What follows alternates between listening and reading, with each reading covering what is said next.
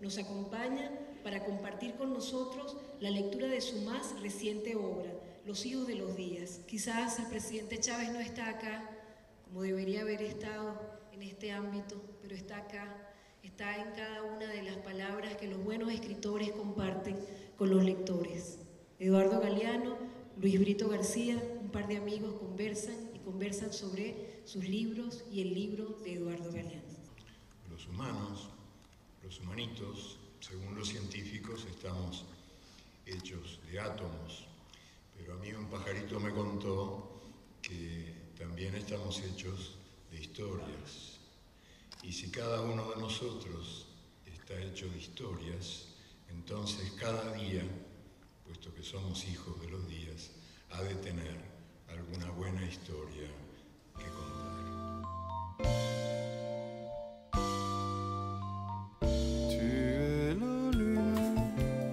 Como todos estamos hechos de historia, como decía Galeano en la presentación de Los Hijos de los Días en 2013 en el Teresa Carreño, nuestros científicos tienen mucho que contar y publicar en libros. Recientemente se presentaron en la Feria Internacional del Libro de Venezuela Filben y en la Feria del Libro de Fundarte Alcaldía de Caracas seis novedades editoriales del MINCIT y ONCIT, cuyos detalles que hoy resumimos podemos encontrar en www.mincit.gov.be Allí se pueden descargar de forma gratuita. El maravilloso mundo de la microscopía para niños, niñas y jóvenes sobre el universo de las pequeñas estructuras y sus sorpresas vistas desde el microscopio como resultado del trabajo de los semilleros científicos. El Código de Ética para la Vida de creación colectiva de expertos que tiene como propósito establecer lineamientos filosóficos básicos y las normas que de ellos se derivan, estimulando la reflexión y contribuyendo al desarrollo de una conciencia bioética. La física del béisbol, un libro escrito por los doctores José Luis López y Óscar Andrés López sobre el mundo de la física empleando el deporte del béisbol como base experimental y que hoy nos acompañarán en la parte final del programa. El doctor Roberto Betancourt presentó el Manual de Caracas, una guía metodológica para fortalecer la recopilación de datos estadísticos sobre el personal dedicado a la investigación y desarrollo y la inversión de los recursos económicos y financieros que permiten a la República Bolivariana de Venezuela avanzar hacia la independencia y la soberanía en materia de ciencia, tecnología e innovación. Este libro es de autoría de un equipo multidisciplinario bajo la coordinación del Observatorio Nacional de Ciencia y Tecnología e Innovación, ONCTI. En el libro El triunfo del ingenio, ciencia y tecnología ante el asedio, se examina el nocivo impacto de las medidas coercitivas unilaterales en la vida cotidiana en Venezuela y narra cómo hombres y mujeres de la ciencia responden con soluciones innovadoras a las necesidades de la nación. También se dio a conocer la obra de Katia Colmenares y Ramón Grossfogel, hacia una descolonización de la ciencia moderna. Allí los autores plantean la necesidad de utilizar la ciencia como una herramienta para el bienestar de los pueblos, desechando cualquier indicio de clasismo y racismo. De estos y otros temas hablamos hoy con la ministra de Ciencia y Tecnología, Gabriela Jiménez Ramírez, vicepresidenta sectorial de Ciencia, Tecnología, Educación y Salud, desde el Museo Dr. Humberto Fernández Morán, en la sede del MINSI.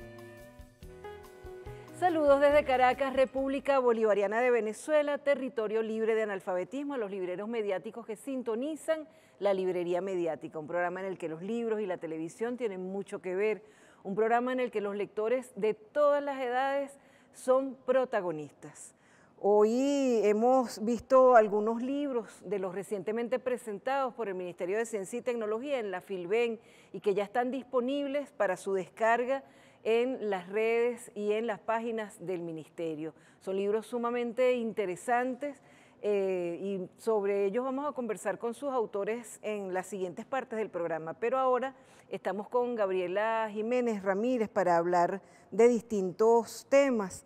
Decía Edgar Morán, filósofo francés que está activo a sus 103 años, que para ir hacia la metamorfosis es preciso cambiar de vía pero si bien parece posible modificar ciertas trayectorias y corregir ciertos males, no podemos ni siquiera frenar la ola técnico, científico, económica y de civilización que está llevando a nuestro planeta al desastre.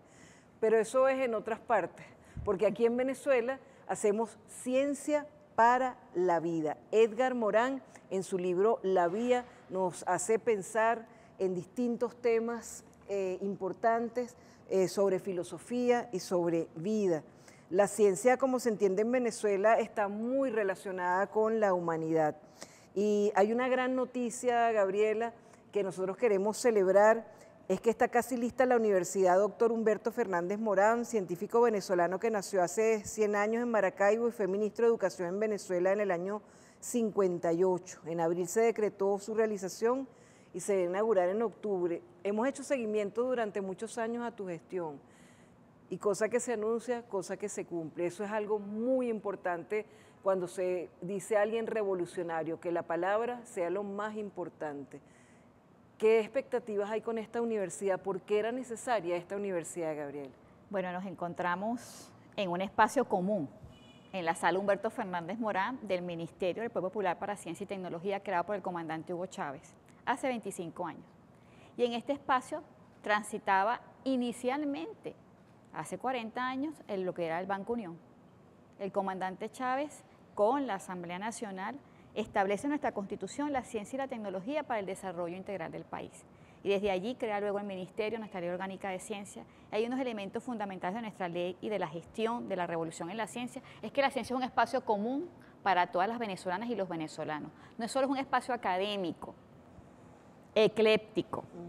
Eh, para una clase social. No, no, no, es un espacio común para toda la sociedad venezolana. Entonces tenemos comuneros, estudiantes, científicas, mujeres, niños haciendo robótica, inventores populares, innovadores, emprendedores de base tecnológica. Y en esta experiencia de hacer la ciencia un espacio común, la universidad viene a ser como otra etapa de la revolución bolivariana en donde le damos un protagonismo a la formación especializada técnico-científica. Este mundo tan cambiante que menciona Morín, pero que además requiere de que nosotros seamos capaces de comprender la realidad, tienes que hacerte el pensamiento crítico, el pensamiento lógico, de la capacidad de observación, y esta sala Humberto Fernández Morán demuestra los primeros microscopios que llegaron a Venezuela, cómo pasamos de lo invisible al ojo humano, a la microscopía electrónica, al conocimiento de ese mundo eh, diminuto, y luego cómo eso tiene que ver con la salud, con la ecología, con la ingeniería, con la ciencia, con el desarrollo tecnológico de las telecomunicaciones,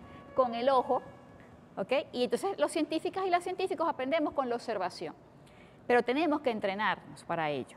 Y la ciencia, territorio en disputa, como hemos discutido, requiere de espacios académicos que nos permitan formarnos para los nuevos tiempos. Esta universidad, que es decreto del presidente Nicolás Maduro, tiene como objetivo fundamental desarrollar nuevas áreas del conocimiento técnico-científicas, como tiene que ver con la biotecnología, con la energía atómica y su uso pacífico, con la oceanología, con la física y la biología computacional, con la ciencia molecular y tenemos una carrera fundamental que es la base filosófica de esta universidad, que es la filosofía, que es la madre del pensamiento y que tiene que ver también con la ética y con la virtud y nosotros queremos que esta universidad tenga un ejercicio ético y moral que acompañe la formación de sus científicos y sus científicas, pero además que este elemento de la virtud sea algo que podamos desarrollar desde el conocimiento para una ciencia para la vida.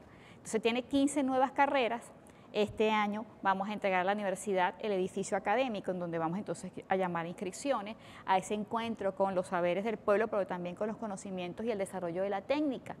El presidente Nicolás nos ha convocado a la transformación del país. La transformación del país requiere desarrollar nuevas tecnologías, metodología, metódica y herramientas para la técnica, para el desarrollo urbano, para retornar las ciudades al pueblo, que sean más habitables, reconocer el efecto de la crisis climática, pero también la riqueza en nuestra biodiversidad, que forma parte del patrimonio, y la ciencia debe entenderse como un elemento de nuestra cultura, María Alcira, de nuestra cosmovisión y de nuestra identidad. Cuando nosotros hacemos reconocimiento al doctor Humberto Fernández Morán, vamos a nuestra identidad, a nuestra identidad como científicos, a nuestro pueblo. El doctor Humberto Fernández Morán era profundamente bolivariano, en sus cartas enunciaba decretos de nuestro libertador, inclusive decía, cuando le tocó irse perseguido, que un Santander lo había traicionado. en su carta cuando se retira al exilio, escribe a mano con mucho dolor que había sido traicionado por un Santander. Y tenía libros en inglés, en francés y en alemán del pensamiento bolivariano. Y cuando se presentó en el organismo de energía atómica para anunciar el reactor nuclear que estaba en Altos de Pipe, cierra con un pensamiento de nuestro libertador Simón Bolívar donde dice, América, nuestra América, será el centro de la justicia, del nuevo mundo y del conocimiento.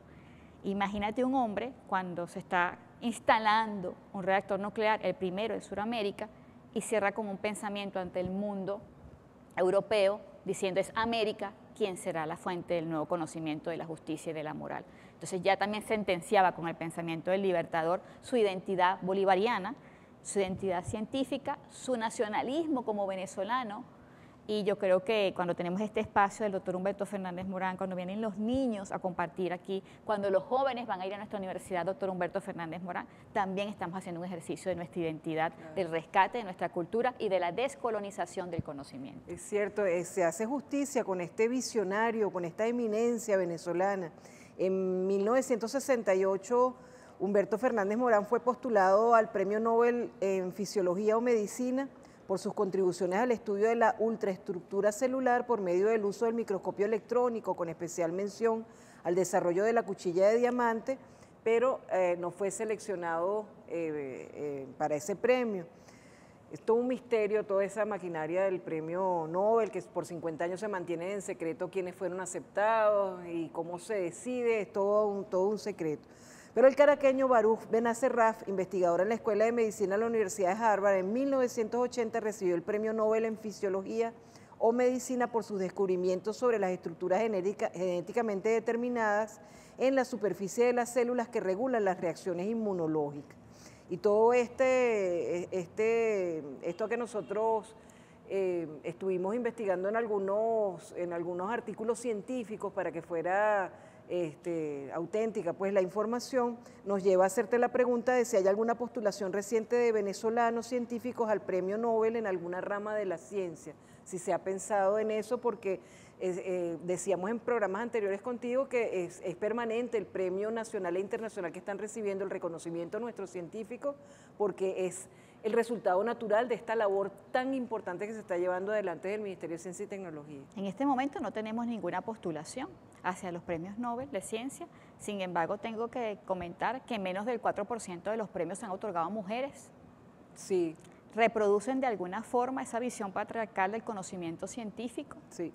De estos, menos del 10% han sido americanos.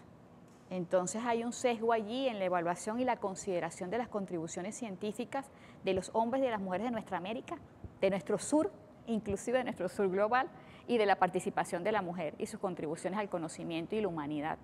Entonces no tenemos en este momento postulaciones. Nosotros trabajamos con nuestros premios nacionales de ciencia, en donde cualquier instancia del poder popular, cualquier institución académica, pública o privada puede postular a un venezolano o una venezolana para este premio o a un extranjero que haga vida en Venezuela. Tenemos ahorita unas 15 categorías que, incluye, que incluye la mujer en la ciencia, pero también el joven en la ciencia y por supuesto las investigaciones eméritas y las que se consideran elementos de innovación. Nosotros este año, en diciembre del 2023, otorgamos más de 15 premios y además cinco menciones especiales que el presidente Nicolás Maduro aprobó y que por supuesto nos permite reconciliarnos con la capacidad científica del país, el reconocimiento al trabajo de las venezolanas y los venezolanos, al pueblo innovador también. Entendemos a la comuna, al territorio como un espacio de soberanía también para la generación de ciencia y tecnología. Esta es una de nuestras ediciones anteriores que no puedo dejar de compartir entendemos también cómo la inventiva de nuestro pueblo se transforma en una palanca del aparato productivo nacional. Aquí hay registros y experiencias de las venezolanas, de los venezolanos en las comunas, en los consejos campesinos, en las universidades, creando inventiva para la solución de problemas locales. Como decía Galeano, que estamos hechos de historias, veamos para terminar un resumen de noticias realizado por el IDEA acerca de la Universidad Fernández Morán y otros temas relacionados con la ciencia y pasamos a hablar de novedades editoriales recientemente presentadas por el Ministerio de Ciencia y Tecnología y el Observatorio Nacional de Ciencia y Tecnología. El gobierno bolivariano, liderado por el presidente de la República, Nicolás Maduro, anunció la inauguración y dotación de nuevos espacios para el fortalecimiento de la ciencia en Venezuela. Avances de la Universidad de las Ciencias, doctor Humberto Fernández Morán. Creciendo, naciendo y pronta para ser inaugurada la Universidad de las Ciencias de Venezuela. Humberto Fernández Morán. Nuevo laboratorio de mejoramiento genético de plantas del Centro de Biotecnología Agrícola del Instituto Venezolano de Investigaciones Científicas. Queda inaugurado y entregado el laboratorio de biotecnología de plantas para ir enriqueciendo la fortaleza genética de nuestro desarrollo agrícola. Dotación tecnológica del microscopio CNTM 4100 para el Centro de Microscopía Electrónica en la Facultad de Ciencias de la Universidad Central de Venezuela. Así que me alegro mucho de que el mundo de la microscopía avance y siempre deben saber ustedes en la UCB que tienen todo nuestro apoyo. Anuncio de convocatoria de proyectos de innovación tecnológica productiva 2024. Convocatoria de el recibimiento de las propuestas de proyectos de innovación tecnológica productiva a partir del 15 de septiembre en el contexto de la actividad de los poderes creadores del pueblo